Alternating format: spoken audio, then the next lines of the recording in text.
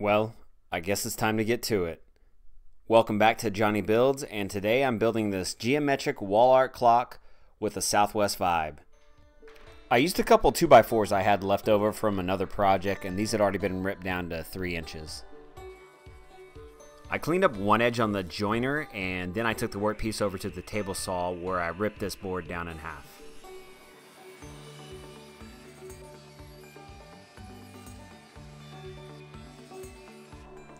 I cut down 18 boards to 22 inches.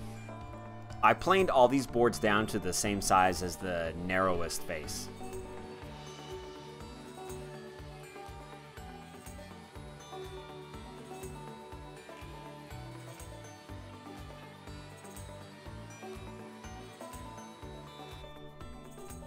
And here I clamped all the pieces together and used a marker and a speed square to lay out the design.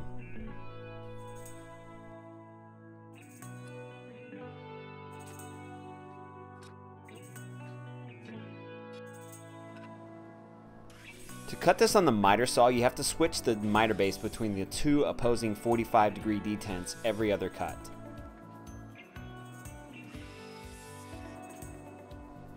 At first I cut one piece at a time, but after a few I switched to cutting two, and this made this process a whole lot faster.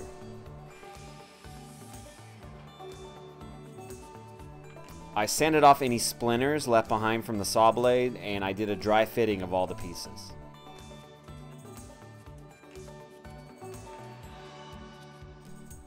Had to remake a few pieces that ended up a little too short, and here you can also see how I numbered all the pieces before I moved on to painting.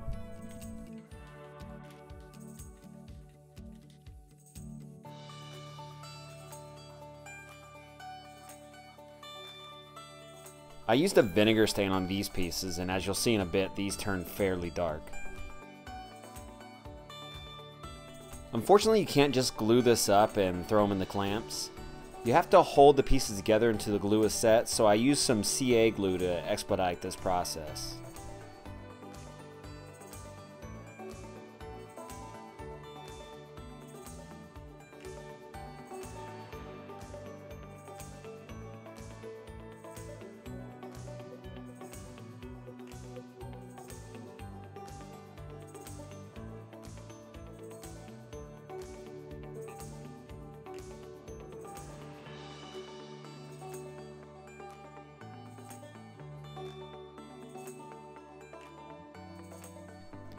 And here you can see just how dark that vinegar stain got. And if you want to make some, there are no shortage of YouTube videos out there showing you how to do this.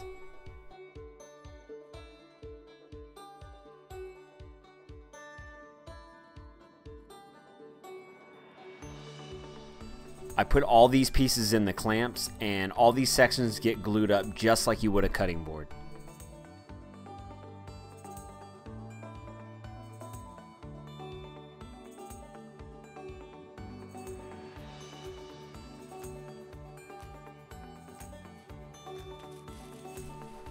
The following day I pulled these out of the clamps and I used my new Grizzly track saw to square up each end.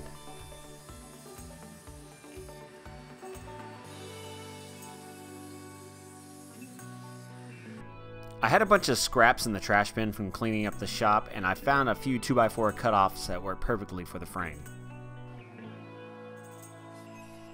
I cut the frame on my miter sled and I have each side of the sled numbered. I just alternate between side 1 and side 2 as I cut each consecutive frame piece. This ensures I get perfect 90 degree corners.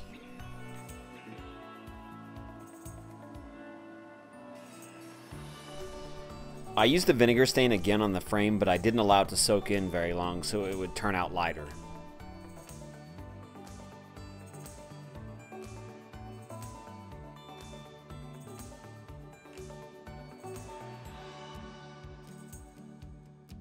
Each frame piece gets glued on and then I could shoot in some brad nails.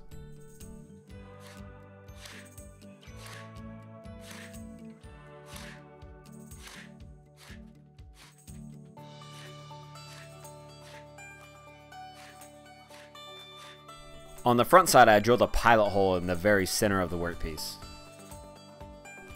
Then I could flip it over and drill out the hole for the clock mechanism post to stick out the front.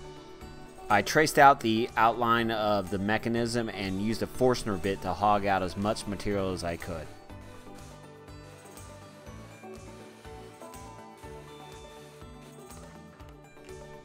And here I used my chisel to clean out what was left.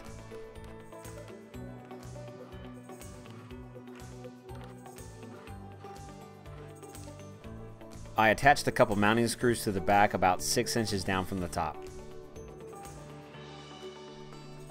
Next I chucked up some framing wire and braided it with my drill.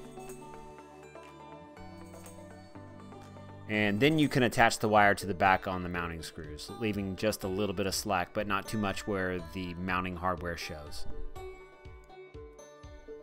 I inserted the mechanism into the back and attached the clock hands to the face.